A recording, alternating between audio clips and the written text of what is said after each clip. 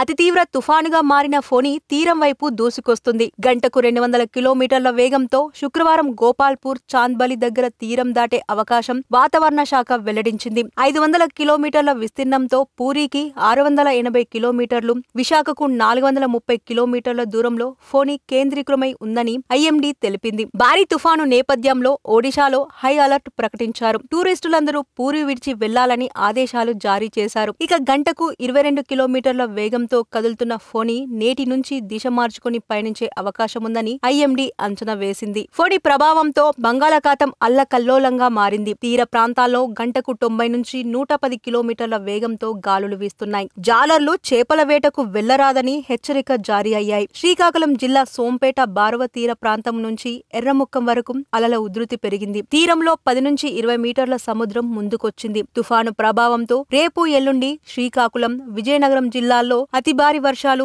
విశాఖలో ఓ మోస్తారు వర్షాలు కురిసే అవకాశముందని వాతావరణ శాఖ వెల్లడించింది. ఒడిశాలో ఇరవై సెంటీమీటర్ల కంటే అధిక వర్షపాతం నమోదయ్యే అవకాశముందని పశ్చిమ బంగ్లాలో భారీ వర్షాలు కురిసే అవకాశముందని తెలిపింది. బంగాళాఖాతం వేడెక్కడం వల్లే ఈ ఫొని పెనుతుపాన్గా మారిందని ఐఎండీ ప్రకటించింది.